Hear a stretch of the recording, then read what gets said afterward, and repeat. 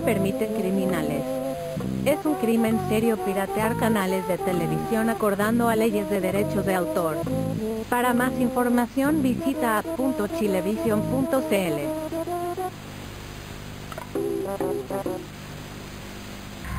Te lo repito, es un crimen serio piratear canales de televisión acordando a leyes de derechos de autor. Para más información visita a.chilevision.cl.